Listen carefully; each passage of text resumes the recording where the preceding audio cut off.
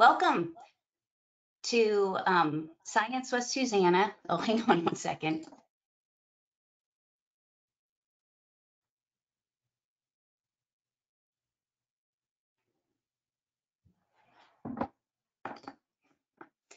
My phone was wanting to join us and it shouldn't. um, okay, so welcome. I'm Susanna Heinz from Science with Susanna, and I've teamed up with Archer Review to do a series of webinars for you as you prepare for the TEAS7. So this very first one will be on cell structure and function, and I'm very happy to have you all here. So when we think about the TEAS7 and the science that you'll encounter on it, it's broken up into a few different topics. The first topic is anatomy and physiology. You can expect about 18 graded questions on anatomy and physiology on the TEAS test. There's also chemistry, and you'll have eight graded questions for chemistry. And then scientific reasoning, which is where they ask you to understand graphs and to think about the scientific method, like what is a hypothesis. And there will be nine graded questions on that part. And then biology, which is the topic we're going to focus on today. And then when you think about the biology on the TEAS, this can be broken down into a few um, topics also. So what we'll focus on today is cell structures, their functions, and organization. And this will really be all we're going to work through today in our hour together. But in future webinars, we'll be covering DNA, chromosomes, genes, RNA, and protein. Additionally, we'll go over basic genetics of inheritance. A lot of times this is called Mendelian genetics. Then we'll talk about biological macromolecules. That's like carbohydrates, lipids, proteins, nucleic acids, and their basic building blocks. And they've added a portion on the TEAS7 on microbes and disease. So all of these are the biology that you'll be seeing on the TEAS7.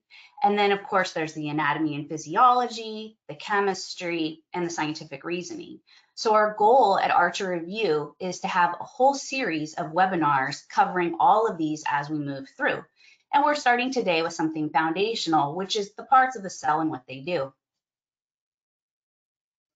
So the first thing I want to talk about today, and by the way, there is a handout um, for this webinar. If you look on your control panel on the right-hand side, you'll see something called a handout. And there is a PDF handout of these slides as I'm going through them, and you can follow along. Or after the webinar, you could go back and print it out if you'd like to.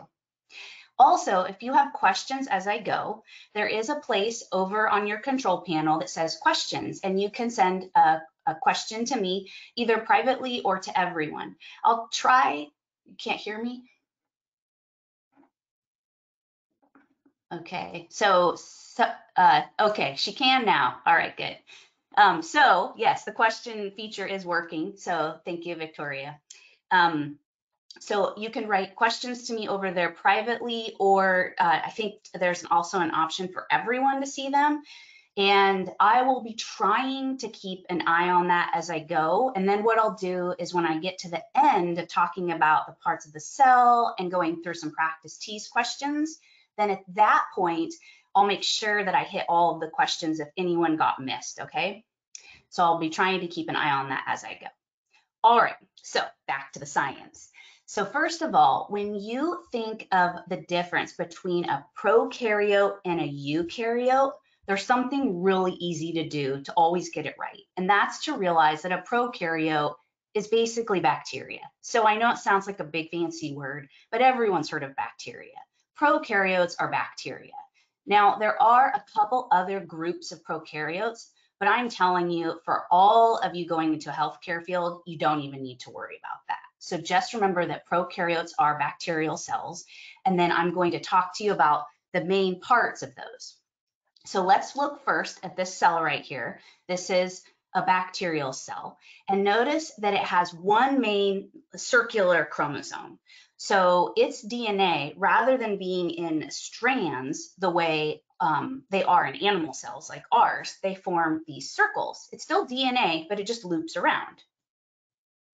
And then they often have these little cute loops of DNA that aren't as big as their main chromosome, and we call those plasmids. And I just want to mention those here because a lot of times when students learn about bacteria that are antibiotic resistance, Uh, or they have antibiotic resistance, it's because of a plasmid they got. So bacterial cells like to trade these plasmid, plasmids back and forth. And when they get them, they can acquire a new kind of antibiotic resistance just because they traded with other bacterial cells. So first concept, all bacterial cells have DNA and all cells in all organisms will have DNA. And then there are ribosomes, and all cells will have ribosomes too. I've drawn them just as these little brown dots, but they actually have like kind of a top and a bottom, like a snowman that only has two pieces. We'll look at that a little more later. Now, ribosomes make protein. So these are going to be in charge of making all of the protein for the bacterial cell all cells will have a cell membrane. And that cell membrane is made of lipids and it sort of regulates what can come in and go out of a cell. Now, bacterial cells will always have a cell wall. And in fact, one of the ways that we are able to best fight them with antibiotics is by drugs that block them from making a good cell wall. So when you look at um, prokaryotes, think of all these things they have in common. They are going to have DNA, they're going to have a cell wall, they're going to have a cell membrane, and they're going to have ribosomes. All cells will have ribosomes and a cell membrane and DNA, but they don't all have a cell wall. Now, just as important as remembering what bacterial cells or prokaryotes have is recognizing what they lack. So they do not have any organelles. Organelles are things like uh, the mitochondria and the Golgi bodies, and we'll talk about those on our next slide. So those um, organelles, they all have a membrane around them, and bacterial cells just don't have anything like that. Also, they won't have a nucleus because a nucleus is basically an organelle. It has a membrane around it. Usually we call that the nuclear envelope. The last thing I want to point out about bacterial cells is they're always single celled. So like plants and animals, those are eukaryotes and they are multicellular, right? And then there are things called protists that are eukaryotes that are single celled, but for the most part, bacteria are the main group that are single celled. So they're always single celled. All right, so now let's move on to the really fun animal cell. So this is the example of a eukaryote that I want to talk through with you.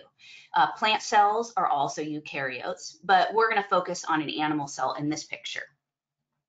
So what I'm doing here is I'm coloring it kind of this beige color, and this is the cytoplasm. It's a watery fluid that all the other structures are found in. And um, in recent years, I've enjoyed reading about just how special this fluid is. It's actually like a, a, a thick gel. Um, and of course, it's salty. So think of it like a salty jello. And that's where all of the substances of the cell are going to be found. Then we'll start with the nucleus. And that dark blue line that I drew there, that is that membrane that makes the nucleus considered an organelle. Usually we call it the nuclear envelope. And inside of the nucleus, you're going to have these linear chromosomes. So see how the DNA is in linear strands, whereas in the bacterial cell, I drew it like a circle. And then that nuclear envelope is a lipid membrane that surrounds the, to protect the DNA. And then this yellow dot that I drew here is um, that is the nucleolus. So off to the left here, I'm going to keep a running track for you of all of the different organelles as we go through them. The first one is the nucleus, and it encloses the DNA. Then there is the nucleolus, And the role of the nucleolus is to make the ribosome. So see, I'm writing that over there. The nucleolus makes the ribosomes. That word nucleolus literally means little nucleus. Okay, so then as I was saying, the chromosomes in a eukaryote, they're in linear strands. And in our human cells, we have 46 of these in our body cells, or 23 pairs is how we say it. So compare that with a bacterial cell with just that one circle. Okay, next to the nucleus, I'm drawing in pink the endoplasmic reticulum. Now, the endoplasmic reticulum, I know it sounds like a big phrase, but really it just means a network of membranes inside of the cell. So we usually call it the ER for short. And the rough ER, which is what I'm going to show you first, is studded with ribosomes. And that's how that it gets its name. When they would look in um, transmission electron microscopy, really powerful microscopes, they could see that it was like dotted. And it turned out that those dots were ribosomes. So you might remember I told you on the last slide that ribosomes make protein. So notice that the ribosomes are on the ER right here. And so what can happen is that mRNA from the nucleus can go out of the nucleus and then pass through the ribosome. So I've drawn you one of those little snowmen to show you a close-up of a ribosome. And once it goes through the ribosome, then a protein can be made, and I've drawn that in purple. And then that protein, in order to do its function, it will need to be folded properly. So that's where the endoplasmic reticulum comes in. These little mRNA transcripts are able to pass through the ER and get folded properly, and then they can be shipped off to their next um, destination. So over on the left, let's summarize what we just said. You've got the ribosome, which makes proteins. And I've given you three different phrases to remember its job. These things are all equivalent, okay? So the ribosome makes proteins, and we call that process translation. It gets its name because it's translating from the language of DNA and RNA into the language of protein. So it's a translation. And protein synthesis is another way to talk about it. So all those things are equivalent, um, generally speaking. And so if you see a question about what the ribosome does, any of these three things would be correct. Then the rough endoplasmic reticulum, its job is to fold and transport the proteins. So if it has to fold them properly or they won't work right, and then it kind of moves them throughout the cell toward their next destination. Then it blebs off these little vesicles, and then those vesicles will go to the Golgi bodies, which I'm drawing here in green. Now, these have a few different names. Sometimes you'll hear it called the Golgi complex, sometimes you'll hear it called the Golgi apparatus, and sometimes you'll hear it called the Golgi bodies. So complex apparatus bodies. I have preferred Golgi complex in more recent times, but I see still see it said all the different ways. Okay, so this protein now that's blebbed off from the ER, it's now been folded, but it might still need to be modified. So what the Golgi does, and it's like little stacks of pancakes, right? It passes the protein through the layers, and as it does so, it modifies them by adding sugars or lipids. So if you've ever heard of a glycoprotein or a lipoprotein, it's thanks to the Golgi complex adding these that you're able to get to this modified protein that does its final job as a glycoprotein or a lipoprotein. And then I've drawn it here being secreted from the cell. Then over on the left, we can summarize what this does. So the Golgi complex modifies proteins with sugars or lipids. All right, next I've drawn what kind of looks like a red garbage can. That is the lysosome. So this membrane-bound organelle is really important in breaking down old cell parts. So I've written here that it contains enzymes that can break down biomolecules. These enzymes are really powerful. So they can break down DNA. They can break down carbohydrates and proteins and lipids. So if they got loose out of the lysosome, they could potentially destroy the whole cell. So they're contained within this membrane inside of the lysosome where those enzymes are not yet able to damage anything in the cell. But then the cell can put things in there that they want to have broken down. Okay, most of you will recognize this next organelle. It's probably the most famous, maybe besides the nucleus, and that is the mitochondria. The mighty mitochondria, it's usually called. So the mitochondria is often nicknamed the powerhouse of the cell because it makes ATP. So it's able to convert the energy from the foods you eat, those carbon chains, whether they're in a carbohydrate or a lipid or even a protein, break those down and produce ATP for the cell. So down on the bottom left, running out of room down there, the mitochondria produces ATP through a process called oxidative phosphorylation. So that means it requires oxygen. And this process then will generate ATP. And that is a topic um, that's part of cellular respiration. And we'll talk about that one in a future webinar as you're reviewing for that part of the TEAS. Okay, then I want to mention the cytoskeleton or the cytoskeletal elements. These are things like actin and myosin. So most students have heard of actin and myosin in the context of um, muscle contraction, and that surely is an important role. So myosin is a molecular motor that can move on actin and shorten up a muscle for contraction. But notice here that I've drawn these actin fibers and they can actually change the shape of the cell. And that, in my opinion, is, is one of the coolest things that they do. So anytime you think of a cell that has a projection on it, whether it's a neuron with like an axon terminal or a dendrite or an intestinal cell with those little wrinkly microvilli on top, those are held in, in place by these protein filaments called actin. Then there can also be thicker um, cytoskeletal, cytoskeletal elements. And the best example there is probably microtubules. And they have a molecular motor that moves on them called kinesin. And there's even another one called dynein. But these microtubules, their probably most famous role is in mitosis. They form the spindle fiber that helps to divide a cell to pull the to pull the chromosomes apart. And that will also be something we talk about in a future webinar. We'll go over mitosis for part of your review. So the cytoskeleton gives the cell its shape.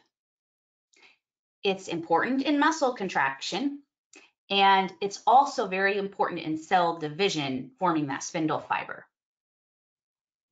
So these motors move on the filaments. They're like little machines and they can move things all around a cell like roads. But imagine if you wanted to go in a certain direction and you could just make a road go that way and then disassemble it and then make the road go another way. So these are very dynamic. They can change where the roads go in the cell at any given time. Okay, now this cute little pink organelle, this is also endoplasmic reticulum, like we talked about before, but this is the smooth endoplasmic reticulum. And that means that it doesn't have any ribosomes on it. So this is the smooth ER or the smooth endoplasmic reticulum, and it has the very important role of making lipids for the cell. So it makes all of these membranes that we've been talking about. So it's going to make all the membranes. It makes uh, steroid hormones because those are lipid based. And also a lot of chemical signaling in your cells is actually based on like little lipid molecules. Uh, maybe you've heard of prostaglandins, and those are things that can make someone feel more pain if they have an injury, for example. And a lot of those are based on um, cell signaling chemicals that come from this ER. Okay, so then up in the top right corner, I just want to summarize a little bit about eukaryotes because we're contrasting eukaryotes with prokaryotes. So eukaryotes have organelles, and so they have all these structures that are membrane bound. And if that's the case, then that means they can have a nucleus because a nucleus has a nuclear envelope. Okay, so that was a lot of information, and now we're going to practice. So I've written some practice TEAS7 questions for you that cover this content. Let's go ahead and take a look at the first one. Okay, your first question. These small structures synthesize protein and are found in all cells. So option one is endoplasmic reticulum. B is Golgi complex. C, ribosomes. D, lysosomes. Got your answer? So the correct answer is ribosomes. Now we'll go ahead and look at this um, slide here to kind of help make sure you understand why. So ribosomes are found in all cells because they are not an organelle like those other options.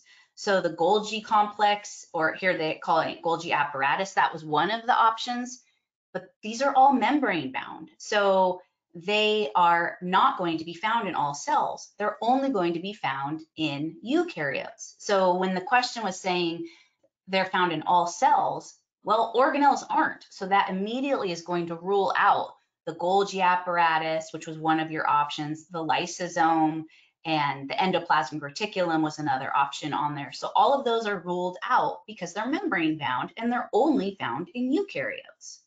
So here I highlighted, you've got, um, you know, these membranes on the, the different organelles and some organelles even have double membranes. So the mitochondria has a double membrane and chloroplasts do too you might be thinking, I didn't put a chloroplast yet, I haven't talked about that, and that's because those are only found in photosynthetic eukaryotes. Photosynthetic meaning that they can make their own food. So a chloroplast allows a cell to be able to make its own sugar. So we do not have chloroplasts. We are not photosynthetic. We're heterotrophs. We have to eat other things. And then I want to show you what's so cool about the nucleus is its envelope or membrane has pores in it, and that will allow mRNA transcripts to exit through these little holes and then go out into the cytoplasm where they'll go through a ribosome and be translated into a protein. Okay, so then off to the left and down on the bottom of this slide, I've drawn you a close-up of a ribosome. In comparison to the organelles, ribosomes are teeny, teeny, teeny, tiny, uh, but I drew it big for you here. So ribosomes are not membrane bound. They are found in all cells. They're in prokaryotes, they're in eukaryotes. It's a key takeaway. So organelles are only found in eukaryotes. And the eukaryotes include animals, plants, fungus, that's things like mushroom and yeast, and protists. Most students don't remember too much about protists, but you might remember uh, looking at euglena in a microscope in a general biology class, and it kind of swims around. So it's a, a single celled uh, eukaryote that has chloroplast inside of it. All right, let's go on to another question. This membrane-bound organelle folds and transports proteins. It is often covered with ribosomes. So, is it the rough endoplasmic reticulum, the smooth endoplasmic reticulum, the Golgi bodies, or the mitochondria? So I'll let you take a look at that. Think about what you want your answer to be, if you're confident. So the correct answer is the rough endoplasmic reticulum. So I've drawn it a little bit for you right here. And remember, it's usually right next to the nucleus and it's usually studded with ribosomes. And so then the mRNA can go through um, the ribosome, enter the ER and get folded properly. So it is membrane bound and it folds and transports proteins and is often covered with ribosomes. It's not the smooth ER. You can rule that out on this question because the smooth ER lacks ribosomes. It does not have them. The smooth ER has a different job. It doesn't fold and transport protein. It makes lipids. Remember, it makes the membranes, it makes steroids. The Golgi bodies, it has a different job too. Its job is to modify the proteins so it will make um, glycoproteins and lipoproteins with its additives, and then the protein is all ready to do, go do whatever its job is supposed to be. And it's not the mitochondria.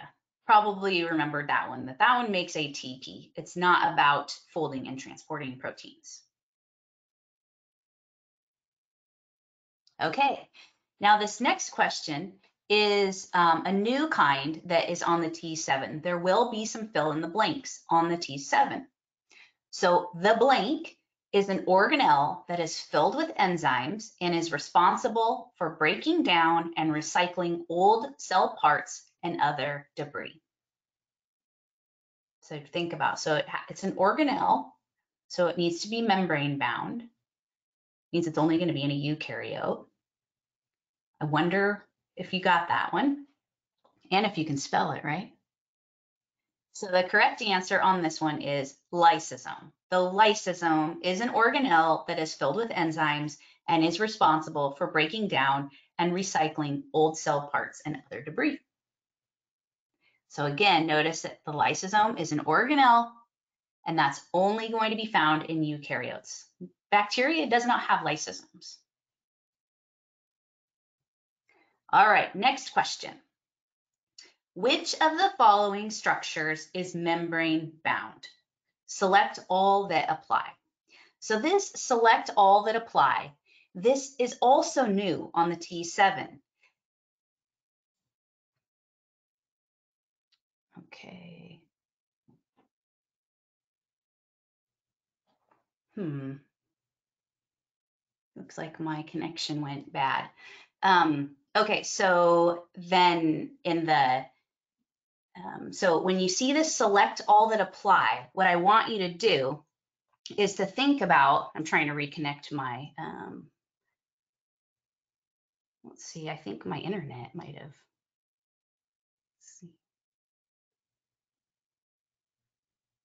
hang on one second. Let's see.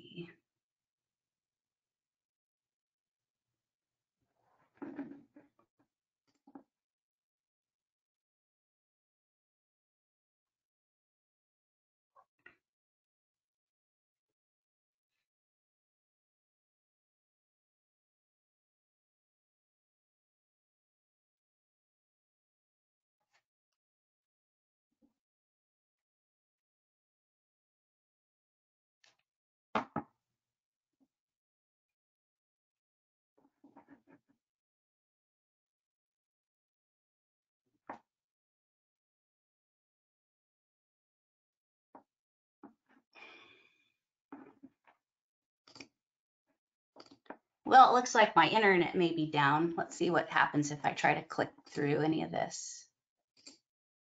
Um,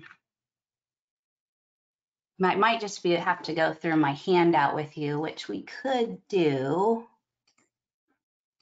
Let's see if I can show this to you. Oh yeah, you can see this. That's good. Okay, so if I make this, oops, sorry. All right, we are back in business with this. Let's see. Sorry if you're getting, is that making you dizzy?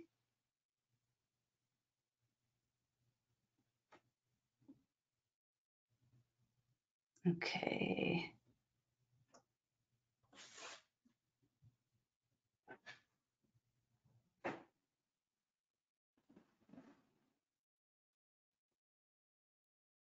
All right, here's where we're at.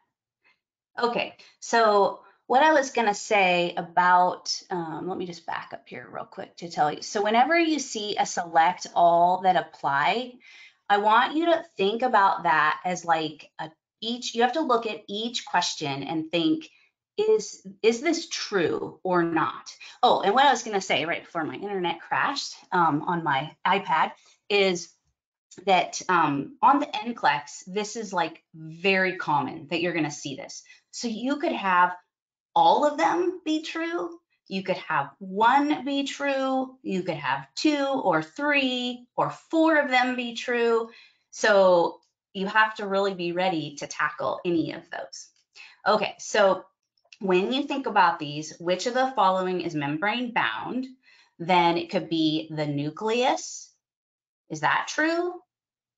The rough ER? Is that true?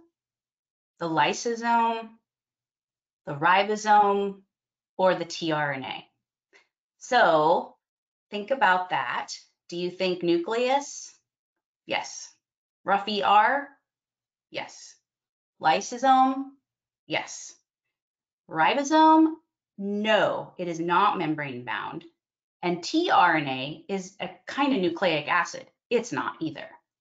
So if we go down to our answer, you're going to see it all at once, but the nucleus, um, it has these membrane pores that allow mRNA transcripts to exit. It has a nuclear envelope that breaks down for mitosis. The rough ER, it has a membrane and it is able to fold and transport all of these proteins inside of it. The lysosome is membrane bound. Remember when we talked about this one, it has powerful enzymes stored inside its membranes. And if those were to break out, then it could damage the whole cell. So those three are all true. And on the TEAS7, you would have to uh, choose all three of those in order to get the question right. Now, ribosome is not membrane bound. It's made of protein and RNA, and tRNA is also um, not membrane bound because that's just RNA.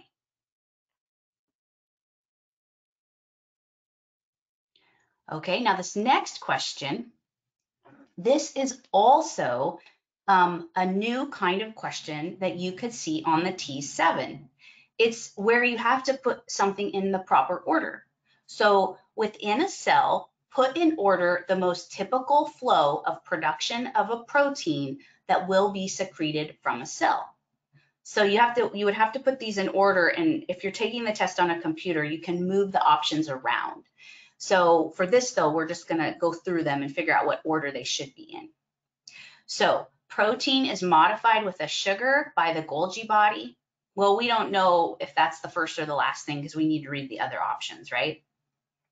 The protein is folded by the rough ER. Hmm, that happens before, right? It goes to the rough ER before it goes to the Golgi. So we know B is before A. Protein synthesized by a ribosome. Well, that's even earlier, right? I'm moving that one to first place right now, but let's keep going and see. D, mRNA produced in the nucleus. That is even sooner. So now that one gets the first place option and then protein transported in a vesicle to the plasma membrane. That sounds like the very last thing that would happen. So the trick is on these kind of questions is to make sure you do check your answer before you submit it too. So um, down here, I'll show you these one at a time. So what we realized is that D is first. The mRNA is produced in the nucleus, and we call that process transcription. Then the second thing that happens is that the protein is synthesized by a ribosome. We call that translation. Then once you get the protein, it needs to be folded, and that happens inside the rough ER. Then after it gets folded, it needs to be modified by the Golgi complex with sugars or lipids. Now we have a protein that's ready to go do its final job. And then that protein can be transported in a vesicle to the plasma membrane and then sent out. We call that a secretory vesicle.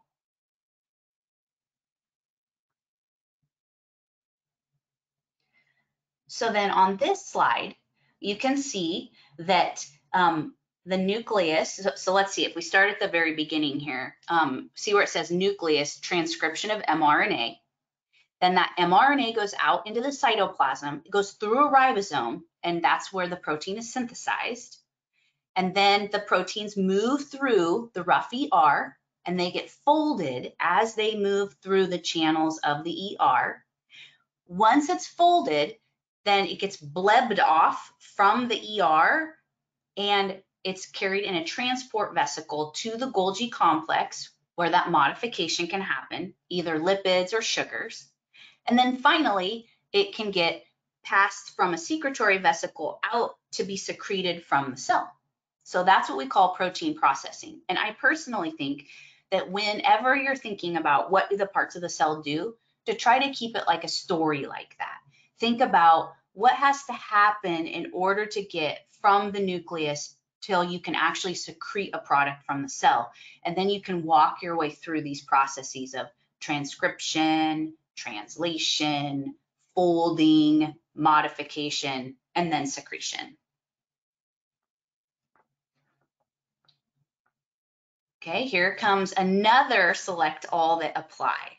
So on this one, um, again, when you see select all that apply, I want you to think, I have to think if each one of these statements is true or false. So treat each one as a true or false statement. So which is true of the smooth endoplasmic reticulum? Select all that apply. Is it a membrane bound organelle? Is it found in bacteria? Is it covered with ribosomes? Is its primary purpose to fold and transport proteins? So I wonder if you're noticing that you were comfortably able to say that A is true. It is a membrane bound organelle. I've sort of been hammering that into our heads, right? Going over and over that. So yeah, it's membrane bound, but that means it's not in bacteria. So B doesn't work. And it's smooth, so it's not covered with ribosomes. And hey, it's the rough ER that folds and transports them, right? Not the smooth ER. So I gave you a super tricky one here.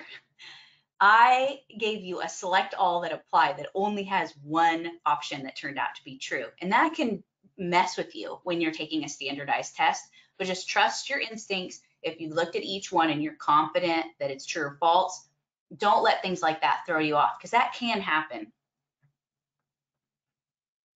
So then here, going through these, um, so remember, select all that apply, treat each statement as a true or false. The smooth ER makes lipids, so that is going to be true. B doesn't work. There aren't any organelles in prokaryotes and bacteria are prokaryotes. It's not covered with ribosomes. The rough ER is covered with ribosomes, not the smooth ER. And the primary purpose of the rough ER is to fold and transport proteins, but the smooth ER makes lipids. So on this one, there was only one correct answer, even though it did say select all that apply. Can't get trickier than that. Okay, our next question is about the nucleolus. Which is true of the nucleolus? A, it is located just outside the nucleus. B, it produces ribosomes. C, it contains all of the cell's DNA. Or D, all of the above. So when I go through these, I think Nucleolus, that's the little nucleus. It's inside the nucleus. So it's not just outside the nucleus, it is inside the nucleus. So that one's not going to work. It produces ribosomes. That sounds right to me. I'm going to have in my mind, I'm probably going to pick that one. It contains all of the cell's DNA. No, that's the nucleus that contains all of the cell's DNA. The nucleolus happens to be in the nucleus, but it doesn't have the DNA inside of it. So D doesn't work. It's not all of the above because we've ruled everything out, out except for B. So B would be the correct answer here.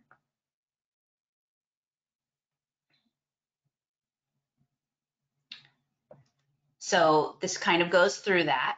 It's actually located inside the nucleus. It does produce ribosomes.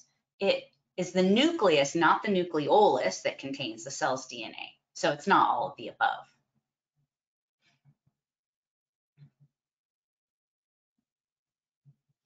Okay, next question.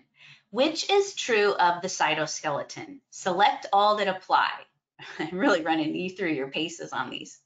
So does the cytoskeleton have thin or thick filaments? Are actin and myosin cytoskeleton elements? Are there molecular motors such as myosin and kinesin that attach and move along cytoskeleton elements such as actin and micro, microtubules? And with the cytoskeleton, is its only role in muscle contraction? So you need to go through these and think each statement, is it true or false? So yes, it may have thin or thick filaments. Actin is the thin filament, myosin is a thick filament. So actually, if that's true, which you know, then that means B also works, right? Actin and myosin are cytoskeletal elements. And then for C, molecular motors such as myosin and kinesin, those are the motors that move along the roads of the cytoskeleton. And it's not its only role in muscle contraction. Remember, the cytoskeleton gives shape, so it gives like wrinkles on the top of a cell or makes the axons in a neuron, so you have these different shapes of cells. And the other thing the cytoskeleton is really important for, it forms the spindle fiber during cell division in order to separate the chromosomes. So then I think on this slide, kind of walk you through that again. So remember to treat each statement as true or false when it select all that apply. Those first three statements are true. The last one is not because it has multiple roles, the cytoskeleton does.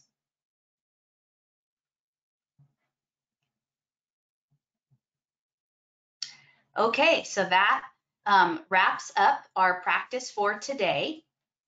And um, we will be having future webinars and hopefully I'll get better at the technology. Um, and let me go over here and see if there were um, any more. Okay, lots of, let's see, Roxana. Yes, so Roxana asked, so on the TEAS, can there be select all questions that only have one answer? I think theoretically, Roxana, it can happen, but it would be tricky. So I would hope it wouldn't happen to you. But if you go through them and only one is correct, then theoretically that could be be the way it, it would work out. Um, I haven't come across too many practice questions like that, but I just want you to be aware of how to approach that kind and to realize that it could be one, two, or three of them for all that apply. I know, and if they do do that, it would be tricky. And, oh, thanks, Kelly. I'm glad it's helpful. And so Lisa is asking about misspellings on the fill in the blank. I we're still looking into this because the TEAS7 is kind of new for for us, but we are thinking that the spelling does matter. And I'm actually going to be taking the TEAS7 and I'll find out more about that. But for now, on a fill in the blank, I want you to assume that you have to spell it properly. So make sure that you know how to spell, for example, all of the parts of the cell. Can you spell the word mitochondria? Can you spell the word lysosome, like the one that we did on this?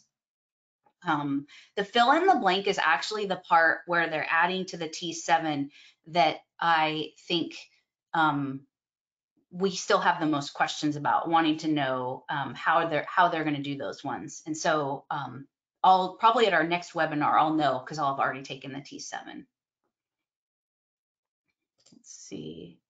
Oh, so Rachel is saying she already took it and there were no fill in the blanks. Yes, the fill in the blanks were only in the math section. That would be amazing if that were true because that takes out the spelling problem, right? Because you're just putting a number in. So I certainly hope that that is the case. Okay, and then uh, Gemma asked about microbiology. Um, yes, there will be, they're calling it microbes and disease. and it wouldn't be like everything you learn in a microbiology course, but there could be a little bit of that, and certainly um, needing no, needing to understand about like the immune system. That is definitely going to be something they're going to be asking about, and how our immune system fights off microbes. Okay, so um, and when will the next webinar be? Um, I would like to do one in about two weeks. So I will, um, we'll send, if you were here today, you'll get an email and we'll make sure to let you know when the next one is. And see. Yeah, so another question about that. Um, all right. So I think I got through. Um, thanks you guys for um, your kind words because I know it was a little bit clunky. I'll hopefully get better at that. And um, I'm not sure, maybe one of my kids blew out my iPad internet because it completely crashed on me. But next time it will hopefully go better. So um, I think we're about done. And let me see if we have a poll. I think when you're done, you'll get an email and they'll have a poll question for you. And I believe what it will be is asking about how you heard about this one um, because I did a little YouTube video, but I'm not sure if that's where very many people found the webinar from. And then I know Brandon Kraft has an amazing Facebook math page and that that um, brought a lot of people attention to this. And I think he's also going to be doing webinars. And we have um, uh, Josie Slepian is now going to be working with us for the reading and English, the language usage part. And um, she's amazing too. And so we might also be able to do a group webinar where we can talk about general strategies for the TEAS and have all three of us there. Um, and that's about it. So let's see, a few more questions. Um, am I going to upload on YouTube? So I think if you mean this webinar, um, I think it's recorded. And so you can watch this after it's over whenever you want and rewatch it. And um, are you going to share the charts with us? Yes, so that you can, there's a handout here um, on, on your control panel and you can print this um, slideshow out and then uh, you can rewatch the webinar uh, too.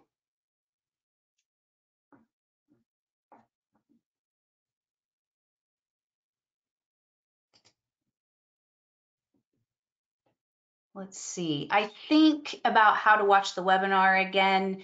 It will probably be included in the email that you get after this uh, presentation.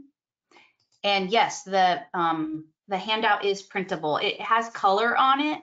So if you don't mind printing it in color, you know, I like to use a lot of color. If you print it in black and white, you could probably color it in yourself a little bit. And uh, yeah, Yan, are you able to find the slides over there? It says handouts, um, and then it says TEAS7 Science Archer Review. Okay, yeah, and someone's saying from the Brandon Kraft Facebook um, page, I've heard that he um, has uh, a, just an amazing following over there on his Facebook page. So anyone that's looking for math help, um, he is also working with Archer Review to be make, he's making practice questions and he'll be doing webinars as well. All right. Someone said, yeah, he is the best in math and he has that great Southern accent.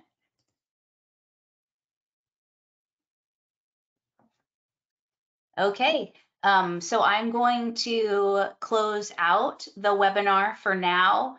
Um, you know, you can also email me at um, Susanna Heinz at gmail.com. Um, and also through my website, Science with Susanna. You can always email me there too if you have questions or follow up things. So thanks very much, everybody. I hope you have a great um, rest of your day and hopefully we'll have another webinar in about two weeks and we'll let you know what specifically the topic will be and we'll have a handout just like this too. Okay, take care.